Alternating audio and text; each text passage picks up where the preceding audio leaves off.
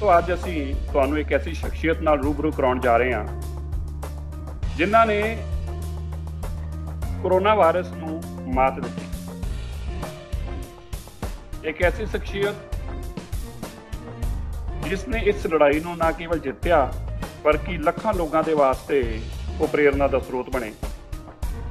ਰੋਹਿਤ ਸਾਡੇ ਨਾਲ ਨੇ ਔਰ ਰੋਹਿਤ ਨੇ ਜੋ ਆਪਣੀ ਇਸ ਮਹਾਮਾਰੀ ਦੇ ਦੌਰਾਨ ਸਭ ਤੋਂ ਪਹਿਲੇ ਪੇਸ਼ੈਂਟ ਦੇ ਰੂਪ ਅੰਦਰ ਜਿਨ੍ਹਾਂ ਨਾਲ ਪ੍ਰਧਾਨ ਮੰਤਰੀ ਨੇ ਗੱਲ ਕੀਤੀ ਠੀਕ ਹੋਣ ਤੋਂ ਬਾਅਦ, ਕਿਆ ਕਿਸ ਤਰੀਕੇ ਇਹਨਾਂ ਨੇ ਉਸ ਨੂੰ ਬੀਟ ਕੀਤਾ ਔਰ ਕਿਸ ਤਰੀਕੇ ਗੁਰੂ ਹਰਕ੍ਰਿਸ਼ਨ ਪਾਤਸ਼ਾਹ ਇਹਨਾਂ ਦੇ ਸਹਾਈ ਹੋਏ, ਸਭ ਤੋਂ ਵੱਡੀ ਗੱਲ ਆ ਕਿ ਉਹ ਪਵਿੱਤਰ ਸਥਾਨ ਜਿਸ ਤੋਂ ਲੱਖਾਂ ਲੋਕ ਬਿਮਾਰੀਆਂ ਦਾ ਨਿਵਾਰਨ ਕਰਕੇ ਜਾਂਦੇ ਨੇ, ਨਿਰੋਗ ਹੋ ਕੇ ਜਾਂਦੇ ਨੇ, ਉਸ ਪਵਿੱਤਰ ਸਥਾਨ ਦੇ ਭਾਵੇਂ ਅੱਜ ਤੱਕ ਇਹਨਾਂ ਖੁਦ ਦਰਸ਼ਨ ਨਹੀਂ ਕੀਤੇ ਸੀ, ਪਰ ਉੱਥੋਂ ਦੇ ਅੰਮ੍ਰਿਤ ਨੇ ਕਿਵੇਂ ਚਮਤਕਾਰ ਕੀਤਾ ਔਰ ਕਿਵੇਂ ਇਹਨਾਂ ਦੀ ਜ਼ਿੰਦਗੀ ਦੇ ਅੰਦਰ ਤਬਦੀਲੀ ਆਈ, ਇਹ ਰੋਹਿਤ ਤੁਹਾਨੂੰ ਆਪ ਦੱਸਣਗੇ ਮੇਰੇ ਨਾਲ।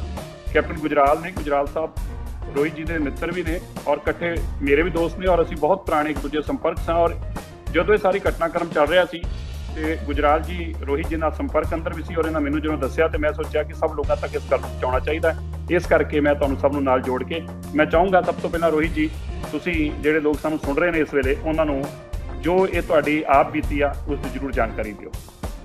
ਸਭ ਨੂੰ ਬਹੁਤ ਬਹੁਤ ਨਮਸਤੇ ਸਿਰਸਾ ਸਾਹਿਬ ਮੈਨੂੰ ਡਿਟੈਕਟ ਹੋ ਗਿਆ 1 ਮਾਰਚ ਨੂੰ ਸਰਕਾਰ ਨੂੰ ਪਤਾ ਚੱਲ ਗਿਆ ਕਿ ਮੈਂ ਦਿੱਲੀ ਦਾ ਪਹਿਲਾ ਕਰੋਨਾ ਪੇਸ਼ੈਂਟ ਹੈਗਾ। ਜੀ।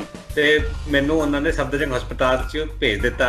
ਮੈਂ ਗਿਆ ਰਾਮ ਮਨੋਹਰ ਲੋਈਆ ਸੀ ਉੱਥੋਂ ਸਫਦਰਜੰਗ ਚਲੇ ਗਏ। 2 ਤਰੀਕ ਨੂੰ ਡਾਕਟਰਸ ਨੇ ਦੱਸਤਾ ਕਿ Rohit you are corona positive ਜਿਸ ਤਰ੍ਹਾਂ ਪੋਜ਼ਿਟਿਵ ਹੋਇਆ ਤੇ ਹੁਣ ਸੋਸ਼ਲ ਮੀਡੀਆ 'ਚ ਸਪਰੈਡ ਹੋ ਗਿਆ। ਤੇ ਮੇਰੇ ਇੱਕ ਫਰੈਂਡ ਹੈਗੇ ਜੋ ਸਿੱਖ ਹੈ ਔਰ ਬ੍ਰਿਗੇਡੀਅਰ ਰਿਟਾਇਰ ਹੋਏ ਆ ਫੌਜ ਤੋਂ, ਉਹਨਾਂ ਦਾ ਕੈਨੇਡਾ ਤੋਂ ਫੋਨ ਆਇਆ ਕਿ ਰੋਹਿਤ ਤੂੰ ਚਿੰਤਾ ਨਹੀਂ ਕਰ, ਸਭ ਠੀਕ ਹੋ ਜਾਏਗਾ।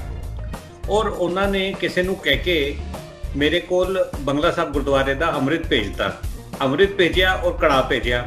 ਕੜਾ ਤੇ ਮੈਂ ਸਵੀਟ ਡਿਸ਼ ਸਮਝ ਕੇ ਲੰਚ ਦੇ ਨਾਲ ਹੀ ਖਾ ਗਿਆ ਤੇ ਫਿਰ ਜਦ ਅੰਮ੍ਰਿਤ ਦੀ ਵਾਰੀ ਆਈ ਤੇ ਮੈਂ ਉਹਨਾਂ ਨੂੰ ਫੋਨ ਕੀਤਾ। ਮੈਂ ਕਿਹਾ, ਯਾਰ, ਮੈਨੂੰ ਇਹ ਦੱਸ ਦਿਓ ਕਿ ਇਹ ਹਾਊ ਇਹ ਯੂਜ਼ ਕਿਵੇਂ ਕਰਨਾ ਹੈ? ਉਹਨਾਂ ਨੇ ਕਿਹਾ ਇੱਕ ਬੋਤਲ 'ਚ ਇੱਕ ਢੱਕਣ ਮਿਨਰਲ ਵਾਟਰ ਦੀ ਇੱਕ ਬੋਤਲ 'ਚ ਇੱਕ ਢੱਕਣ ਅੰਮ੍ਰਿਤ ਦਾ ਪਾ ਦਿਓ। ਮੈਂ ਉਹ ਮੈਂ ਉਹਨੂੰ ਫੋਲੋ ਕਰਤਾ। ਸਿਰਸਾ ਸਾਹਿਬ ਤੁਸੀਂ ਯਕੀਨ ਮੰਨੋ ਔਰ ਤੁਸੀਂ ਟਰਾਈ ਕੀਤਾ ਹੋਵੇਗਾ ਸ਼ਾਇਦ ਉਹ ਬੋਤਲ 'ਚ ਇੱਕ ਢੱਕਣ ਨੇ ਬੋਤਲ ਦਾ ਟੇਸਟ ਚੇਂਜ ਕਰ ਦਿੱਤਾ। ਠੀਕ ਹੈ? ਜੀ। ਉਹ ਮੈਨੂੰ ਸਮਝ ਨਹੀਂ ਆਈ ਮਗਰ ਮੈਂ ਉਹ ਪੀਂਦਾ ਰਿਹਾ। ਔਰ ਮਤਲਬ ਜਿਸ ਤਰ੍ਹਾਂ ਆਪ ਤੁਸੀਂ ਸਮਝ ਲਓ ਕਿ ਮੈਨੂੰ ਰੋਜ਼ ਨਾ ਫ਼ਰਕ ਲੱਗਦਾ ਸੀ। ਜੀ। ਮੈਂ ਤੁਹਾਨੂੰ ਦੱਸਿਆ ਸੀ ਕਿ ਮੈਂ ਕਦੇ ਵੀ ਮਤਲਬ ਦਿੱਲੀ ਦੇ ਕਿਸੇ ਵੀ ਗੁਰਦੁਆਰੇ 'ਚ ਨਹੀਂ ਗਿਆ ਮਗਰ ਮੈਂ ਜਦੋਂ ਵੀ ਗੁਰਦੁਆਰੇ ਦੇ ਅੱਗੇ ਤੋਂ ਲੰਘਦਾ ਸੀ ਤੇ ਉਹ ਨਿਸ਼ਾਨ ਸਾਹਿਬ ਨੂੰ ਦੇਖ ਕੇ ਨਿਸ਼ਾਨ ਸਾਹਿਬ ਦਾ ਨਾਮ ਵੀ ਕੈਪਟਨ ਗੁਜਰਾਲ ਨੇ ਮੈਨੂੰ ਦੱਸਿਆ ਮੈਂ ਕਿਹਾ ਇਹਨਾਂ ਨੂੰ ਕਿ ਝੰਡੇ ਦੇ ਉੱਤੇ ਝੰਡਾ ਲੱਗਿਆ ਹੋਇਆ ਜਾਂ ਡੰਡੇ ਦੇ ਉੱਤੇ ਉਹ ਇਹਨਾਂ ਨੇ ਦੱਸਿਆ। ਉਹ ਨਿਸ਼ਾਨ ਸਾਹਿਬ ਨੂੰ ਦੇਖ ਕੇ ਪਾਠ ਕਰਦਾ ਜਾਂਦਾ ਸੀ। ਉਹ ਕਦੇ ਅੱਗੇ ਵੀ ਨਿਕਲ ਜਾਂਦਾ ਸੀ ਆਪਣੇ ਡਰਾਈਵਰ ਨੂੰ ਕਹਿੰਦੇ ਤੂੰ ਗੱਡੀ ਰੋਕ ਲੈ ਮੈਂ ਨਿਸ਼ਾਨ ਸਾਹਿਬ ਤੇ ਹੀ ਦੇਖ ਕੇ ਖਤਮ ਕਰਨਾ ਹੈ ਪਾਠ। ਚਲੋ ਉਹ ਮੇਰੇ ਕੋਲ ਆ ਗਿਆ ਆਪਣਾ ਅੰਮ੍ਰਿਤ ਤੇ ਮੈਂ ਉਹਨੂੰ ਰੋਜ਼ ਮਤਲਬ ਸੋਚੋ ਜਰਾ 14 ਦਿਨਾਂ ਚ 20 25 ਬੋਤਲਾਂ 2-2 ਲੀਟਰ ਵਾਲੀ ਪੀਤੀ ਉਹ ਬਚ ਗਿਆ ਅੰਮ੍ਰਿਤ। ਫਿਰ ਮੈਂ ਆਪਣੇ ਉਹ ਫਰੈਂਡ ਨੂੰ ਫੋਨ ਕੀਤਾ ਮੈਂ ਕਿਹਾ ਸੁਪਰੀਆ ਹੁਣ ਕੀ ਕਰਾਂ? ਕਿ ਉਹ ਬਚ ਗਿਆ। ਉਹ ਕਹਿੰਦੇ ਕਿ ਮੈਂ ਸਾਰਾ ਇੱਕੋ ਵਾਰੀ ਚ ਪੀ ਲਾਂ ਕਿ ਇੰਜ ਨਾ ਹੋਏ ਕਿ ਇੰਨਾ ਅੰਮ੍ਰਿਤ ਹੋ ਜਾਏ ਬਾਡੀ ਚ ਕਿ ਮੈਂ ਪੋਜ਼ਿਟਿਵਿਟੀ ਫਟ ਜਾਏ ਬਾਡੀ ਗਈ। ਕਿਉਂ ਬਚਣਾ ਹੋ ਜਾਏ? ਉਹ ਕਹਿੰਦੀ ਚਿੰਤਾ ਨਹੀਂ ਕਰ ਪੀ ਲੈ ਪੂਰੇ ਦਾ ਪੂਰਾ। ਮੈਂ ਪੀ ਲਿੱਤਾ। ਜੀ ਜੀ। ਮੈਨੂੰ ਪਤਾ ਨਹੀਂ ਸੀ ਜੀ ਕਿ ਮੇਰੇ ਨਾਲ ਹੋਇਆ ਕੀ। ਮਤਲਬ ਇਹ ਔਰ ਮੈਂ ਮਤਲਬ ਤੁਸੀਂ ਹੈਰਾਨ ਰਹੋਗੇ। ਮੈਂ ਅੰਦਰ ਹੀ ਡਿਸਾਈਡ ਕਰ ਲਿੱਤਾ ਸੀ ਕਿ ਮੈਂ ਘਰ ਤੋਂ ਨਿਕਲਦੇ ਹੀ ਸਭ ਤੋਂ ਪਹਿਲਾਂ ਮੈਂ ਗੁਰਦੁਆਰਾ ਬੰਗਲਾ ਸਾਹਿਬ ਜਾਵਾਂਗਾ। ਮੈਂ ਅੱਜ ਤੱਕ ਗਿਆ ਨਹੀਂ। ਮਗਰ ਮੈਂ ਉਹ ਚਮਤਕਾਰੀ ਸ਼ਕਤੀ ਦੇਖ ਲਿੱਤੀ ਕਿ ਉਹ ਕੀ ਚਮਤਕਾਰ ਹੈ ਬਟ ਜੋ ਉੱਪਰ ਵਾਲੇ ਨੇ ਕੰਮ ਕੀਤਾ ਨਾ ਕਿ ਆਈਸੋਲੇਸ਼ਨ ਵਾਰਡ ਦੇ ਅੰਦਰ ਬੰਦਾ ਨਹੀਂ ਆ ਸਕਦਾ ਜੀ ਮੇਰੇ ਕੋਲ ਅਮਰਤ ਆ ਗਿਆ ਪ੍ਰਸ਼ਾਦ ਆ ਗਿਆ ਕੀ ਬਾਤ ਮੇਰੇ ਕੋਲ ਪ੍ਰਸ਼ਾਦ ਆ ਗਿਆ ਰੋਹਿਤ ਜੀ ਇਹ ਗੱਲ ਆ ਜਿੱਥੇ ਸਾਇੰਸ ਖਤਮ ਹੁੰਦੀ ਆ ਨਾ ਉੱਥੇ ਪਰਮਾਤਮਾ ਸ਼ੁਰੂ ਹੁੰਦਾ ਹੈ ਜਿਵੇਂ ਰੋਹਿਤ ਜੀ ਇਹ ਵੀ ਗੱਲ ਦੱਸ ਰਹੇ ਸੀ ਜਦੋਂ ਮੈਂ ਉਹਨਾਂ ਨਾਲ ਗੱਲ ਕੀਤੀ ਕਿ ਕਿਸ ਤਰੀਕੇ ਭਾਵੇਂ ਉਹਨਾਂ ਨੂੰ ਗੁਰਬਾਣੀ ਪੰਜਾਬੀ ਅੰਦਰ ਲਿਪੀ ਅੰਦਰ ਨਹੀਂ ਆਉਂਦੀ ਸੀ ਪਰ ਇਹਨਾਂ ਨੂੰ ਇਹਨਾਂ ਦੇ ਦੋਸਤ ਨੇ ਇੰਗਲਿਸ਼ ਅੰਦਰ ਉਹਦੀ ਟ੍ਰਾਂਸਲੇਸ਼ਨ ਭੇਜੀ ਇੰਗਲਿਸ਼ ਅੰਦਰ ਭੇਜੀ ਔਰ ਇਹ ਉਸ ਨੂੰ ਸਰਵਣ ਕਰਦੇ ਰਹੇ ਜੀ ਉਹ ਵੀ ਆਪਣਾ ਐਕਸਪੀਰੀਅੰਸ ਜਿਹੜਾ ਸ਼ੇਅਰ ਕਰੋ। ਸਰ ਉਹੀ ਕੈਨੇਡਾ ਤੋਂ ਉਹੀ ਬ੍ਰਿਗੇਡੀਅਰ ਸਾਹਿਬ ਨੇ ਮੈਨੂੰ ਗੁਰਬਾਨੀ ਦੇ ਲਿਖੇ ਮਤਲਬ ਪੰਜਾਬੀ ਦਾ ਪਹਿਲੇ ਲਿਖਿਆ ਕਿ ਇਹ ਮੈਂ ਤੈਨੂੰ ਫੋਟੋ ਭੇਜ ਰਿਹਾ ਔਰ ਇਹ ਉਹਦੀ ਉਹ ਟ੍ਰਾਂਸਲੇਸ਼ਨ ਇੰਗਲਿਸ਼ ਚ। ਤੇ ਮੈਂ ਇੰਗਲਿਸ਼ 'ਚ ਟ੍ਰਾਂਸਲੇਟ ਕਰ ਦਿੱਤੀ। ਉਹ ਜੋ ਕਹਿੰਦੇ ਸੀ ਮੈਂ ਉਹ ਮਤਲਬ ਮੈਂ ਪੜਦਾ ਸੀ ਤੇ ਮੈਨੂੰ ਇੰਜ ਲੱਗਦਾ ਸੀ ਕਿ ਮੈਂ ਮਤਲਬ I am getting fine better ਹੁੰਦਾ ਜਾਂਦਾ ਸੀ ਮੈਂ, ਹਰ ਹਰ ਵਾਰੀ ਪੜਨ ਦੇ ਬਾਅਦ। ਤੇ ਫਿਰ ਮੈਂ ਸੋਚਿਆ, ਮੈਂ ਕਿ ਯਾਰ, ਦੇਖੋ, ਇਹ ਸਿਰਫ ਆਪਣਾ ਦੇਸ਼ ਹੀ ਹੈਗਾ, ਆਪਣੀ ਕੌਮ ਹੀ ਹੈਗੀ ਹੈ ਜੀ, ਜਿਹੜੀ ਇੱਕ ਦੂਜੇ ਦੇ ਨਾਲ ਖੜੀ ਹੁੰਦੀ ਹੈ। ਉਹ ਕਿੱਥੇ ਕੈਨੇਡਾ ਵਿਚਾਰੇ ਸਵੇਰੇ 12 ਘੰਟੇ ਦਾ ਫ਼ਰਕ ਸੀ। ਬਟ ਉਹ ਸਵੇਰੇ ਸ਼ਾਮ ਮੈਨੂੰ ਭੇਜਦੇ ਸੀ। ਅੱਛਾ, ਫਿਰ ਉਹ ਭਜਨ ਭੇਜਦੇ ਥੇ। मेरे को पता नहीं जो पंजाब के कीर्तन कीर्तन जिनको कीर्तन कीर्तन कीर्तन कीर्तन सॉरी तो कीर्तन भेजते थे और वो ऐसी एनर्जी देते थे ना सिरसा साहब आई कैन नॉट एक्सप्लेन कि मतलब वो मतलब उसका आप अमृत का भी मेरे को नहीं पता था। अमृत का गुजराल साहब ने बताया। गुजराल साहब आपको पता ही है सारा। ਨਹੀਂ ਬਿਲਕੁਲ ਜੀ, ਜਿਹੜਾ ਕੀਰਤਨ ਆ ਨਾ, ਇਹ ਜੋ ਕਲਯੁਗ ਆ, ਇਸ ਦੇ ਅੰਦਰ ਕੀਰਤਨ ਦੀ ਬਹੁਤ ਵੱਡੀ ਅਹਿਮੀਅਤ ਹੈ, ਕੀਰਤਨ ਹੀ ਪ੍ਰਧਾਨ ਆ, ਔਰ ਕੀਰਤਨ ਕੀ ਆ?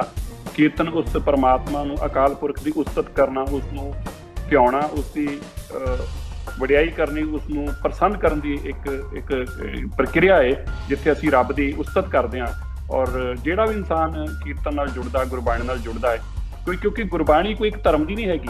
ਗੁਰਬਾਣੀ ਕੋਈ ਇੱਕ ਗੁਰਬਾਣੀ ਦੀ ਕੋਈ ਸੀਮਾ ਇਹ ਨਹੀਂ ਕਿ ਕੋਈ ਇੱਕ ਪਾਰਟਿਕੂਲਰ ਰਿਲੀਜਨ ਨੂੰ ਕਰਦੀ ਉਹ ਅਕਾਲ ਪੁਰਖ ਦੀ ਉਸਤਤ ਕਰਦੀ ਔਰ ਉਸ ਅਕਾਲ ਪੁਰਖ ਨਾਲ ਗੱਲ ਕਰਦੀ ਗੁਰਬਾਣੀ ਤੁਹਾਨੂੰ ਉਸ ਅਕਾਲ ਪੁਰਖ ਨਾਲ ਜੋੜ ਦਿੰਦੀ ਆ।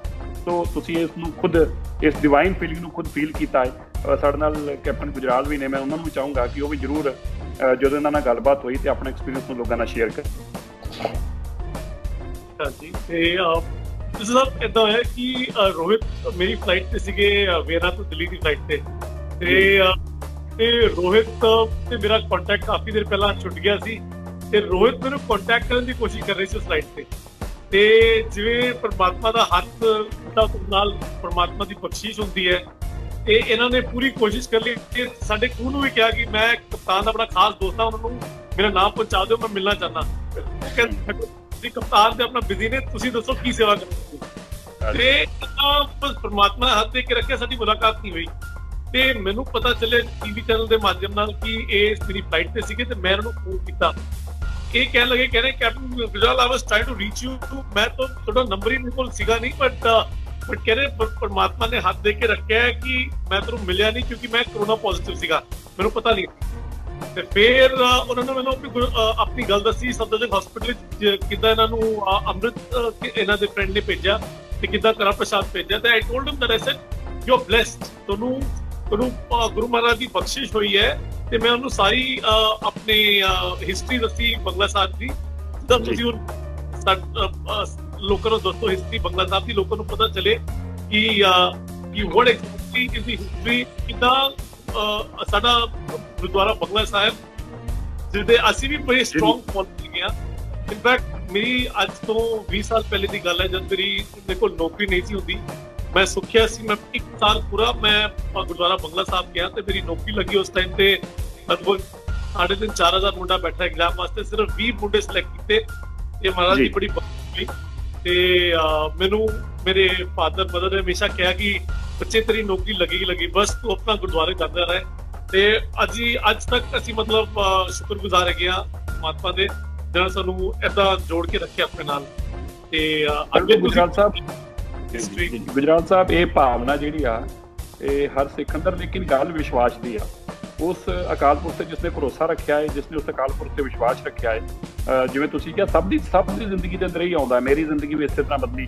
ਮੇਰਾ ਵੀ, ਮੇਰੇ ਕੋਲ ਵੀ ਜੋ ਕੁਝ ਅੱਜ ਉਸ ਅਕਾਲ ਪੁਰਖ ਦਾ ਦਿੱਤਾ ਹੈ, ਉਹ ਮੈਂ ਵੀ ਗੁਰਦੁਆਰਾ ਬੰਗਲਾ ਸਾਹਿਬ ਤੋਂ, ਗੁਰਦੁਆਰਾ ਸੀਸਗੰਜ ਸਾਹਿਬ ਤੋਂ ਸਵੇਰੇ 5:30 ਵਜੇ ਮੈਂ ਜਾ ਕੇ ਪਹਿਲਾਂ ਸੀਸਗੰਜ ਸਾਹਿਬ ਪਹੁੰਚਣਾ ਔਰ ਉਸ ਤੋਂ ਬਾਅਦ ਬੰਗਲਾ ਸਾਹਿਬ। ਔਰ ਉੱਥੋਂ ਹੀ ਮੇਰੇ ਤੇ ਸਾਰੀਆਂ ਬਖਸ਼ਿਸ਼ਾਂ ਹੋਈਆਂ, ਕਿਉਂਕਿ ਇਨਸਾਨ ਦੇ ਕੋਲ ਰੱਬ ਦਾ ਨਾਮ ਹੈਗਾ ਹੈ। ਇਨਸਾਨ ਰੱਬ ਨੂੰ ਜਾਣਦਾ ਵੀ ਹੈ, ਕਿਉਂਕਿ ਜਿਹੜਾ ਗੁਰਬਾਣੀ ਨਾਲ ਜੁੜ ਜਾਂਦਾ ਹੈ, ਉਹਦੀ ਆਪਣੇ ਆਪ ਹੀ ਰੱਬ ਨਾਲ ਜਾਣ ਪਛਾਣ ਹੋ ਜਾਂਦੀ ਹੈ ਔਰ ਰੱਬ ਦੀ ਉਸਤਤ ਕਰਨ ਲੱਗ ਪੈਂਦਾ ਹੈ। ਪਰ ਗੱਲ ਹੈ ਕਿ ਵਿਸ਼ਵਾਸ ਦੀ।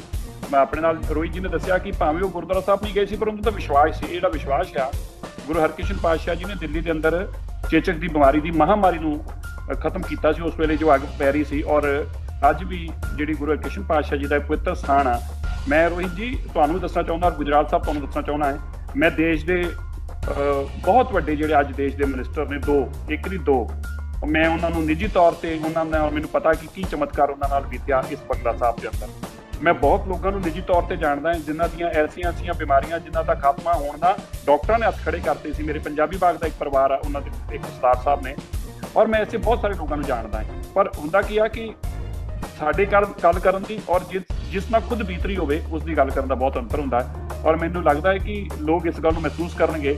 ਮੈਂ ਦੱਸਣਾ ਚਾਹੁੰਦਾ ਰੋਹਿਤ ਜੀ, ਜਿਹੜੇ ਸਾਡੇ ਬਹੁਤ ਵੱਡੇ ਕੀਰਤਨੀਏ ਸੀਗੇ ਜਦੋਂ ਉਹਨਾਂ ਦਾ ਕੱਲ ਚਲਾਣਾ ਹੋ ਗਿਆ, ਉਹ, ਔਰ ਕਰੋਨਾ ਵਾਇਰਸ ਕਰਕੇ ਭਾਈ ਨਿਰਮਲ ਸਿੰਘ ਖਾਲਸਾ ਜੀ ਚੜਾਈ ਕਰ ਗਏ ਉਹਨਾਂ ਦੇ ਜਿਹੜੇ ਸਾਥੀ ਨੇ, ਉਹ ਵੀ ਡਿਟੈਕਟ ਹੋਇਆ, ਉਹਨਾਂ ਨੂੰ ਵੀ ਪੋਜ਼ਿਟਿਵ ਕਰੋਨਾ ਮੈਂ ਉਹਨਾਂ ਨਾਲ ਗੱਲਬਾਤ ਕਰ ਰਿਹਾ ਸੀ ਜਦੋਂ ਮੈਂ ਉਹਨਾਂ ਨੂੰ ਇਹੀ ਗੱਲ ਕਹੀ, ਜੋ ਤੁਹਾਡੀ ਗੱਲ ਹੈ ਤੁਹਾਡਾ ਰੈਫਰੈਂਸ ਦੇ ਕੇ ਦੱਸਿਆ ਉਹਨਾਂ ਨੂੰ, ਕਿ ਸਾਡੇ ਇੱਕ ਮਿੱਤਰ ਨੇ ਉਹਨਾਂ ਨੇ ਕਰੋਨਾ ਨਾਲ ਲੜਾਈ ਲੜੀ, ਕਰੋਨਾ ਹਾਰੇ ਉਹ ਜਿੱਤੇ ਨੇ।